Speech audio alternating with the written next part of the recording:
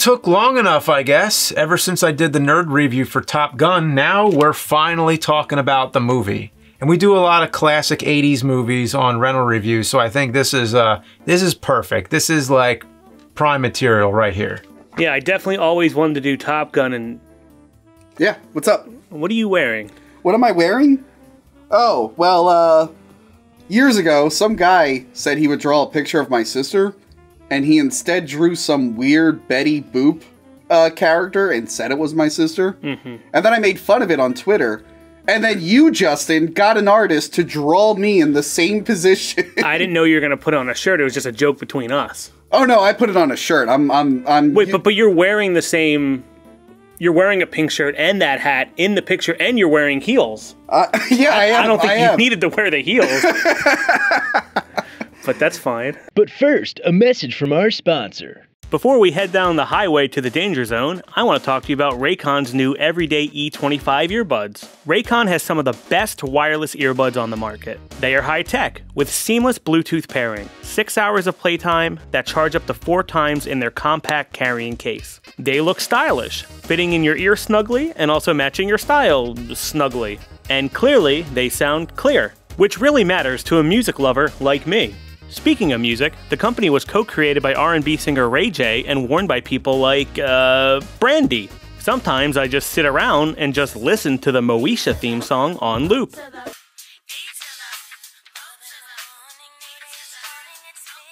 Lastly, they're pretty affordable, starting about half the price of those other premium wireless earbuds on the market. And now they're even more affordable. When you click our link in the description below, you'll get 15% off your Raycon order. Head on over to buyraycon.com slash cinemassacre. That's buyraycon.com slash cinemassacre. Anyway, Top Gun. Yeah, yeah, so wanted to review Top Gun because this weekend, uh, I believe Top Gun Maverick is coming out, right? Yeah, I can't wait to go to the theaters and see Top Gun Maverick. Yes. James, you gonna see Top Gun Maverick this weekend? All right, so we were we were gonna do this in time for Top Gun Maverick, and then of course it's postponed. Well, here's the thing. I mean, because right now obviously you can't go to any theaters because of the pandemic, but they always have a choice of whether to postpone the movie, which now seems like postponing indefinitely. So um, I think the better choice usually is just release it straight to digital, just VOD, just you know, go right for it. But um, this movie has they postponed it till Christmas. Now, if that's if that's even still happening, just the fact that movies always have to come out on Christmas, even if they're not a, a Christmas movie, it's it's like, I mean, look, I am not going to see a Top Gun movie on Christmas. I, I that's my busiest, craziest time, and I know hmm. apparently that's more convenient for everybody else. I guess because they must be releasing them on Christmas for a reason, because most people probably go to see movies then. But I have never seen a movie on Christmas in my life, so that means I won't be seeing it for much longer. Anyway, So the movie was originally supposed to come out in 2019, I think in like uh, July in uh, 2019, and I guess uh, a little bit before that they pushed it to this year. So it's going to come out summer 2020. And then because of um, coronavirus and all that crap, they decided to push it to the end of the year. So so far it's moved twice that we know of. Yeah. But originally it was supposed to come out um, like last summer. Yeah, and it was supposed to be made even long before that. They've been trying to make this movie for a while. Yeah, and Yeah. and and which is weird because aviation, a lot of stuff's changed since then. And Yeah. New fighter jets and stuff, and so I don't know really what's going on with it. Um, I'm definitely surprised, like James was saying, it's not digital only, and they just didn't put it out.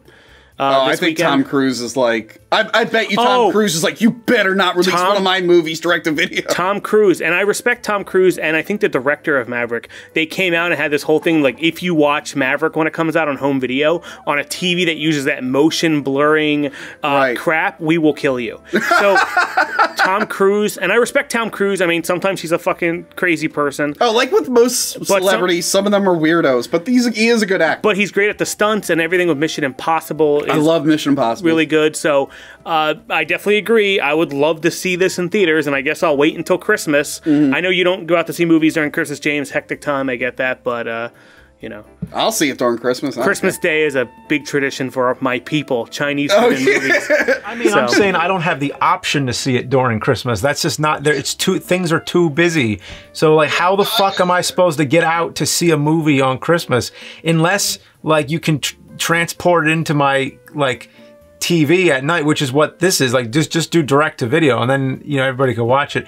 But I do understand. Yes, it would take away the impact of not seeing it on a big screen with the surround sound, everything. But I don't think we have that option right now. and We probably won't for a while. So, um, sometime we'll see this movie. It might and, and Maverick might be a Christmas movie, kind of like Die Hard. You don't know. You haven't seen it. Maybe maybe they're fighting for America on Christmas, James. Yeah, may, may- maybe they shoot down Santa. you Yeah, know? maybe Santa is uh he needs a new sled and only Maverick could test it out. Th- Anyway, this movie it holds up. I think this really does hold up a lot better than you know I thought. It was produced by Jerry Bruckheimer, uh, Beverly Hills Cop, The Rock, Con Air, Armageddon, all that stuff. Yeah, he works a lot with um, Tony Scott, who directed this, and also Michael Bay. Like, Yeah. that's most of the Jerry Bruckheimer yeah. experience. He also produced Pirates of the Caribbean, right? Yep. Yeah, yeah. So he's got a ton of money. and he does stuff with uh, Ron Howard. Don't they have Sometimes I think they yeah. Yeah, it was directed by Tony Scott, True Romance, Crimson Tide. Yeah. rest in peace. Rest in peace, Tony Scott. Yeah. Uh, that was sad. I like Tony Scott. Yeah, he Yeah. took his own life sadly. He's also Ridley Scott's younger brother. Yeah, yeah, brother Um, Ridley Scott. Definitely the more um, less artsy, more action, Yes. more blockbuster. I mean, Ridley Scott eventually became kind of a jerk off, but Yeah. it is what it is. it is what it is. Yeah. Um. So I mean, I think the best thing about this movie is the flying scenes. They they are great. I mean, because they did these realistic plane stunts. Um, because they pretty much they worked with the military on this movie, and to the point where I mean, this was like serious budget. Like, there's a, a shot that I read where they had to turn an aircraft carrier around because like it wasn't facing the sun the right way, and they were like, okay, we need to. Can we turn the aircraft carrier around? And the you know, they were like, well, that's going to cost $25,000 just to turn it around. And then Tony Scott had to write a check out, like right on the spot, so that they could do that and get the shot he needed. There was a, a pilot, um, Art Scholl, who died during filming because he lost control of the plane during a spin and crashed. Um, So they actually have like a, you know, it, it says at the end like it's dedicated uh, to Art Scholl. So yeah, I mean they they definitely did serious shit in this movie. Um, it's the real deal. I mean, it's the real deal. What can you say? I know the plane stuff is really good, but I think what really carries this movie is I really like the plot of this movie and the characters. As great as the plane stuff is, because there's a lot of movies that are built over around like how cool a certain vehicle is. Yeah. But if you don't have good characters and like a good story, like the the, the action stuff can only carry you so far. Like the movie Stealth, that has a lot of plane stuff, and that movie sucks. Yeah. Uh, but no, I, I I haven't watched this movie since I was a kid. I remember really liking it, and watching it yesterday, I fell in love with it all over again. It, I, it took your breath away. it took my breath away as that song that plays 10,000 times uh, says in the movie. Um, no, but I, I really loved all the characters. I wanted them to succeed. I was invested in the romance. I was sad when one of them dies. It was really good. Uh, It was as good as the plane stuff is. I think the characters and plot really make it that much better. They Sure. elevate it more than just an action movie. Yeah, I think the only character I, as a kid, I didn't like Tom Cruise's character um, because I thought he was a cocky piece of shit, um, which you know, which he, he is, but that's what makes it great. Um, So I definitely like Maverick a lot more now uh, because that's what he is. That's the whole point of the character. He's this really unruly, uh, you know, pilot with these unorthodox flight maneuvers, and you know, gets him into trouble. And then they send them to Top Gun, which is this like elite uh, flight school, and they're all competing to be the best. Thing, Top Gun, like flight school in, in Miramar, is that a real I don't know if it's called Top Gun, but maybe. I didn't look that far into it. Well, they made hats, so I assume I assume it's a fucking place. Yeah, Uh, I mean, I don't know. I will say I miss uh, 80s action heroes sometimes. Just because they're like so odd. Like Tom Cruise is full of confidence. He's having fun. He's breaking rules. He's sleeping with his teacher so he can cheat and get further in his career. And he's a total liability. I really miss these kinds of heroes in our films. Now everyone's got some kind of moral dilemma and they're they're sad or they're overly quippy because they're insecure. And I, this movie really took me back to my childhood. I see. yeah. Um, I, I really loved uh, James Tolkan as the uh, the tough commander. Um, there's the line he said as a kid. This was just like hysterical, where he says, uh, "You know, you'll be flying a cargo plane full of rubber dog shit out of Hong Kong." That always stuck with me. Um, he was also the principal in Back to the Future. Yeah, and I will say, James, me and Mike, we actually uh, did a video on the PlayStation Top Gun game, Uh, fire at will. Fire at Will, and it has FMV sequences, and he's the only actor from the movie to show up in that game. Yeah. he like briefs you on your mission between like every level. I, I actually love that game. I mean, I had problems back in the day, like you did as well, with the Top Gun NES. And then when I had that PlayStation game, because I was really big into like the Soviet Strike and all the Yeah. Strike, and then all the all the, all the uh, flight sim games at the time as well on PC and otherwise. I got like a joystick and everything. Mm-hmm. Yeah. And um, I thought um, Top Gun Fire at Will was pretty good. Not as good as like Ace Combat or Yeah. you know, or the super realistic simulator ones, but Mm-hmm. I also never wanted to get, you know, you know, I know people that have like a full room full of the shit and the throttle and Oh yeah, you know, they have a 737 cockpit that they're in. Yeah, and people whole- really like their flight simulators. That reminds me, I have the Ace Combat VR. I gotta play that.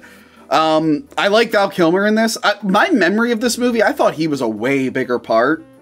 Like I thought he was like the second main character, and he is not. I Like, remember him being a huge asshole in the movie, but he's like right ninety he's- percent of the time. He's the better. Like he is what they want Tom Cruise to be. They're like, hey, you're a great pilot, but you're also an asshole. Here's this guy who's like, he follows the rules, and he's good, and he's effective. yeah. Uh, and Val Kilmer's really good in this. This is before he had that marriage that made him a little weird. And uh, if we ever talk about Island of Dr. Moreau, we'll bring that up again because Yeah. he turned into a psycho for a bit. Uh, and I'm bummed he's not coming back for the new one. Yeah, they didn't bring back a lot of people from the new one. Yeah, the, the Kelly McGillis isn't coming back. She wasn't even asked to come back. She's the teacher in the movie. yeah, she's the teacher, and they asked her like why, and she's like, "Oh, probably because I look like my age." And Hollywood doesn't like that. Whereas Tom Cruise looks like 20 years younger than he is. Well, I I did the math. Um, In the first movie, Tom Cruise is 24 years old. Yeah. I don't know when they filmed it. Maybe he was 22, 23, 25. He was Yeah. in that range. And in this new film, based on the time difference, even though, you know, they push it back seven, eight years, Yeah. he's like 56 to 58, Yeah. depending on when it came out. That's five years older than the than the uh, Viper, the old drill instructor. Michael Ironside or Tom No, Skerritt? Tom Skerritt. Tom Skerritt, yeah. So he's five years older than Tom Skerritt was in this movie and looks half Tom Skerritt's age. Uh, and I uh, I really like uh, Goose. Uh, Goose is Maverick's co-pilot and uh, Meg Ryan's husband. I was I forgot Meg Ryan was in this. Uh, I'm not used to seeing that actor with hair because he was on ER for like ten thousand years, and he was like the bald doctor. I didn't watch ER except for the uh, episode they were trying to. Um, it was like kind of clickbait back then, where they were delivering an alien baby. Remember that? I don't remember that one, but I gotta watch that one. Yeah. Uh, but yeah, no, he was really good in this. And actually, uh, to bring up Kieran's favorite movie, Captain Marvel, starring Brie Larson, the cat in the Captain Marvel comics was originally called Chewie, but for the movie they changed it to Goose, bec- and they based it off of Top Gun because Oh. she's a fighter pilot in this. Right, because she's Yeah. the best fighter pilot. Yeah, and if Kieran was here, he would probably tell us more Captain Marvel starring Brie Larson facts, but he's not. So let's continue more with Top You could Gun. say he's the Maverick of liking Captain. Marvel. He is the Maverick, Maverick of liking Captain Marvel. Saw it 500 times. Did, did you see the uh, the Ghost Goose sketch? No, I didn't see the ghost. no. Goose. What is the ghost goose? Okay, so the the actor, uh, I think it's Anthony Edwards. Is that the Yeah. guy who play, played Goose? He uh, Yeah. th- he did the sketch one time where he said that he wants Ghost Goose to come back in Top Gun 2. so basically, he comes back as a ghost. That'd be pretty good. Yeah. Yeah, because I, you know, big spoil. You know, I already said it, but like, you Yeah. know, Goose dying in this movie was like a huge deal. Yeah, no, it was a bummer. Like when I was watching, I'm like, man, I really like that character. Yeah, but we'll, but we'll talk about Goose's murder later. Oh, Goose's murder. I didn't even know about that. Anyway, uh, we you talked about the plot earlier. I want to say this movie uh, reminded me. It reminded me of several like military focus films, but the one that I could think of off the top of my head was Full Metal Jacket, where like a lot of the movie is the whole training, and then they got to use those skills in combat later. But, But, uh, this is a very more uplifting film than Full Metal Jacket. Well, Full Metal Jacket has the problem where I want a movie of just that first part. The second part, when they're in Nam, is the worst part of What the movie. I like all parts. What is wrong I- with everyone? Full Metal Jacket is a great movie from top to bottom, beginning to end. All right. I know the R. Lee Ermey stuff is great, but It's a good movie. But no, this reminded it was one of those like, hey, here's our training section. Now we got kind of like Starship Troopers, where there's like that huge training section, and then they use it in combat. It's it's hard to go from the first part with R. Lee Ermey carrying the whole thing to, to, to the, the the war part, but it's still really good. I think that the the key is you you got to go into it sometime and just start it in the middle, like ju- just watch that part because the, the second part's great too. It's just Yeah. kind of like that first part really takes a lot of the wind away from it because then it's like your mind is so blown by the time you get to that, you know. Because it, it really is two movies. Full Metal Jacket's like two movies put t- together.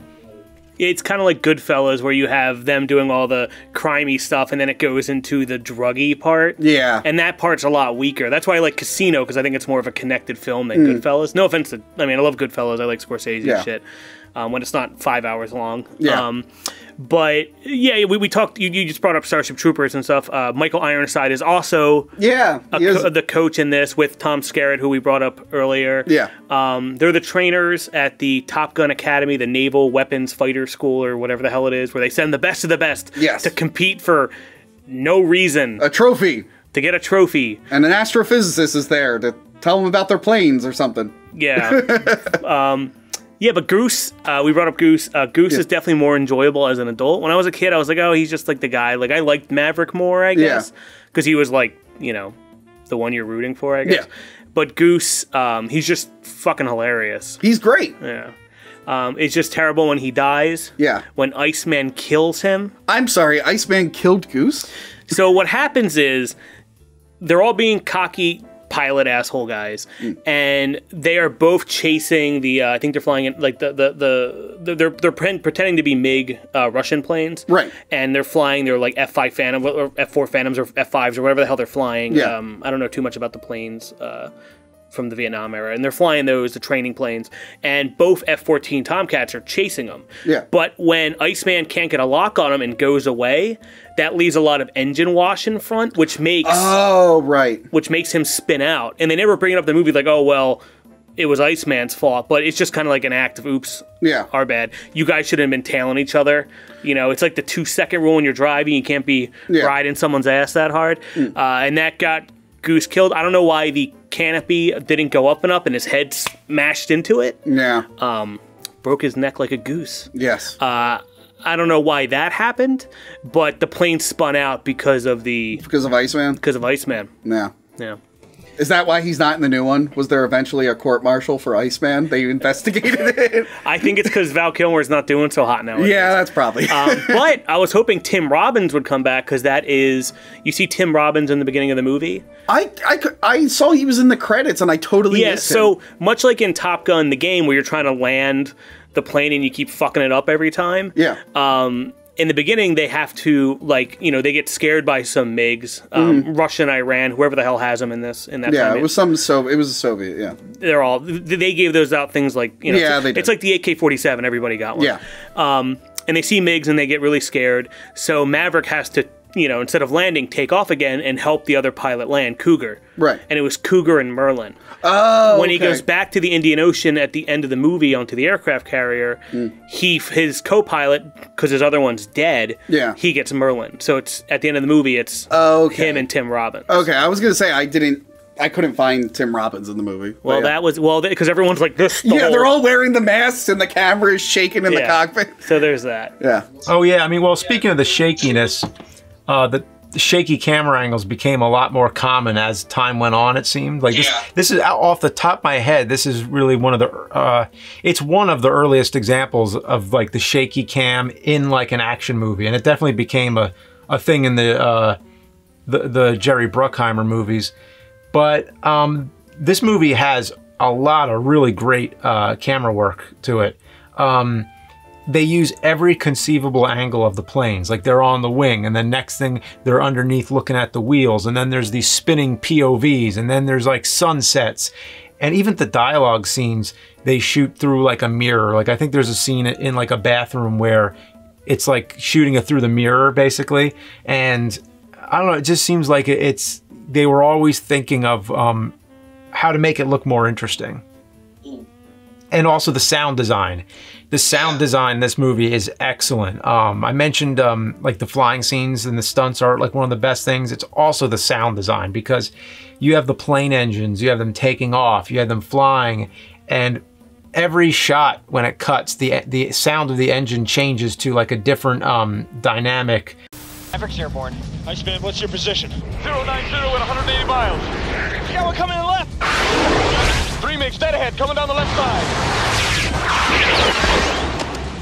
You know, you'll be outside of the plane, and the next thing you're you're inside the cockpit, and you just hear like the intense breathing of the pilot uh, with that like really intense synth bass. I remember there's a part when uh, in the beginning when Cougar is freaking out and it's just this dun dun dun dun and he's breathing heavy and it's just like it really gets you, you know, feeling the sweats, like, you know, how the character must be feeling. Um, I guess I only had like two real issues with the movie. Okay.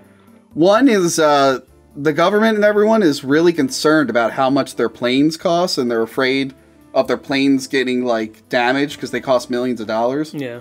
But in my, uh, as far as I can tell, the government loves spending money on the military, so I didn't see why that would be an issue to them. Hey, listen, they don't want to lose another Yeah, Tomcat. and then man. the yeah, the only other issue I had was the sex scene is the tongueiest sex scene. Like um, Tom Cruise and uh, Kelly McGillis, they look like they didn't know how to use their tongues. And they're like sticking their tongues out of their mouth into the other. I'm like, what is this sex? Like, that, they, did they never make out before? Where those? It was all silhouette. I'm like, are these body doubles that have never kissed anyone in their life? I thought that they took. I thought it was a beautiful love story, but that took me right out of it. I'm like, what is going on with their tongues? What are they doing? You're gonna say that wearing that. I'm gonna say that wearing this. Um. Well, Hot Shots spoofed that that scene. I think um they did. Yeah, because um, Hot Shots was one of those rare movies where you know they used to do it more often back then, where they would spoof an entire movie or like main mainly one movie. Where nowadays, whenever they do like a spoof movie, it's like a combination of like a whole bunch of movies. But Top Gun got its own spoof movie, Hot Shots, and this was one of those instances where they would they would make fun of specific scenes in the movie. So th- they definitely got that one in there. My, my one memory of the first Hot Shots is when they're like, "Yeah, uh, they said you had your father's eyes," and he actually has his father's eyes in a case, like his actual eyeball. and then he throws him in the ocean like like, like the dog ta- tags at the end of Top Gun. Yeah, I, I love Hot Shots and I love Hot Shots Part Deux, which Yeah. is which is supposed to be more like Rambo. yeah, it's more like Rambo Three. Yeah. So so they went from more uh, you know air air to army. Uh, a lot of amazing characters in those films. It always confused me because uh, I think the start of Naked Gun three. He's also fighting Saddam Hussein because I always kind of confuse that era. yeah, yeah, yeah. Um, but it was all like making fun of Gulf War kind of Yeah. stuff and whatever. But uh, they also spoofed that scene, unless I'm thinking about uh, Hot Shots in Don't Be a Menace to South Central, where they're having sex next to the fridge and they start eating things in the fridge, like watermelons, whatever. And, and he takes hot sauce and puts it all over her toes, and she's like fungus and bunions and all that. But that that's a fun scene. yeah, yeah. Oh, but James, uh, you brought up the soundtrack earlier because Yeah. this movie does look and sound good, much like Tony in that shirt. Yes. Um, do you remember all the songs in this movie? Oh wow, Th- this is what you call a soundtrack movie. I mean, it's got Definitely. yeah. I mean, first of all, there's the theme song, which is like it's not just a song; it's an anthem. I mean, I think it's even called the Top Gun anthem. And um, then there's Danger Zone by Kenny Loggins. Which they play ten thousand times, and I love it every single yeah, time. but when when that yeah, sometimes it's the instrumental, but when that thing first hits, it hits Yeah. like a brick on that aircraft carrier. Yeah. and you see all the guys on the aircraft carrier having a good time, like woo! like that song and that scene made so many people join the fucking Air Force. Recruiting officers are probably like, "Come on in." Yeah, and then like they play it like four minutes later. It kind of reminds me of the Mortal Kombat movie where they play the Mortal Kombat theme like ten times, as they should. As they should. as they should. I read that they actually had like recruiting for the Navy, like in the theater. So when people came out of it, they would, you know, Oh, that makes sense. Oh, I, I said fucking Air Force. Sorry. Yeah, yeah, yeah. The Navy. Yeah, yeah, that confused me too because it's planes, but but it's a it's Navy, yeah. Mm. And then there's Playing with the Boys, which was also by Kenny Loggins. That's the volleyball song. I mean, if I'm gonna play volleyball, I gotta put that song on. Yep. Yeah, the the Kenny Loggins, he mostly does a lot of yacht rock type stuff, Mm-hmm. but I guess they, he sold out and started doing movie soundtracks. Um, and yeah, playing with the boys is a little iffy. Uh, Yeah. What do you think, Tony? I love it. That's my favorite scene in the movie, the playing with the boys volleyball It's like scene. the, The- the most grease- macho scene, yeah. yeah, yeah. Oh my god, that scene's great. That's, It just looks like they're having so much fun. when I was uh when it reminds me of like when I was in high school on the wrestling team. Me and the boys would all hang out after practice and stuff. It, it really took me back. Great scene. There's great balls of fire, um, and then there's uh, you've lost that love and feeling, and That, then there's that, that scene where, where they're singing to her like the karaoke style to like you know he's trying to like you know get sitting next to her and get in her pants and stuff like that so he Yeah. sings that song and then they continue it afterwards which is funny but it reminds me of that scene in the deer hunter um the vietnam movie Mm. with like de niro and all those guys uh, uh, christopher walken where they sing the frankie valli song in the bar and they're all singing Oh, together. yeah, yeah. yeah and then at last there's boom boom boom boom boom boom. take my breath away, and uh, And- Yeah, when they play the music and not the lyrics, like it always sounds like the Twin Peaks theme to me in the very beginning with the Okay. boom boom boom. that's funny. uh, but yeah, they play that song six thousand times too, and I love it every single Oh, time. and uh, you know, I, I was watching this movie, and then afterwards, I put on that music video because I remember it distinctly. And it has these two creepy dudes that look like they're from like the bad guys in Short Circuit or something. Okay. And they're chasing this girl whose hair is like colored in like different whatever through like a boneyard um, air airfield. Okay. And all the planes are crashed, and then all these ghost pilots come and rescue her from them, and then they all disappear. Oh, that sounds great. That should be the sequel to Top Gun. Yeah, it was weird.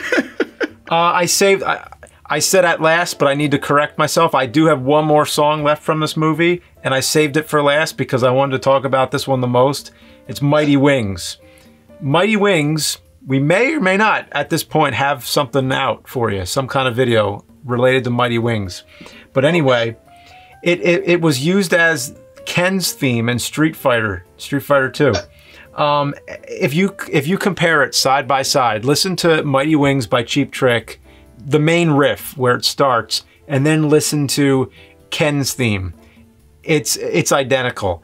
And uh, my theory is that it was originally meant to be Guile's theme because he's got the army getup and the, the plane in the background. Maybe they changed it because it was too obvious, but it definitely seemed like they were going for Top Gun. yeah. It, it might have been another thing like M. Bison Vega thing. They just kind of changed it last minute and thought no one really cared. But yeah, Mighty Wings. People say Danger Zone and the Top Gun theme are the themes of this movie. It's fucking Mighty Wings. It's so good. It's like you know, if Danger Zone is the, is the main one, it's like Mighty Wings is very close to it because Mighty Wings, you also hear it more than once in the film. It's there's an instrumental version in the sometime in the middle when they're flying, and then it's the credits. Like you hear it. I mean, it closes out the movie. I mean, And uh, I want to say, so at the end of the movie, uh, Tom Cruise like quits for a bit, and Iceman wins the trophy, but then they all have to go save a ship that's wandered into enemy territory, right?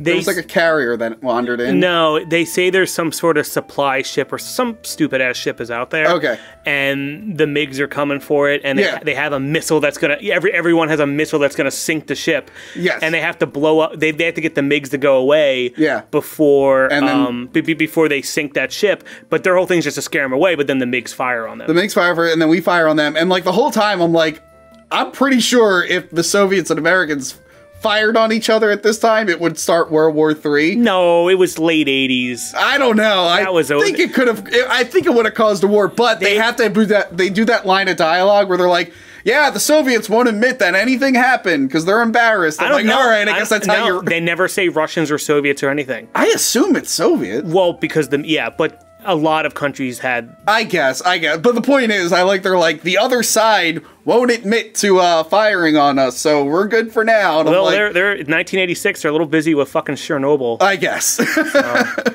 uh, there's a s- there's a couple scenes in the movie where they film it, at, uh, you know, with the the piano. And whenever there's that scene, that's uh, Kansas City Barbecue in San Diego. And I always stop in there when I go to Comic Con. The only other thing I can think to say, other trivia, is that um, my dad was really into this movie. That's why I remember this really well. Um, I think because he, always talked about how real the planes were. He's like, this is the real thing. Like they they really did this. Um, he was in the Marines, so I don't know. Maybe that had something to do with why he always liked these type of movies.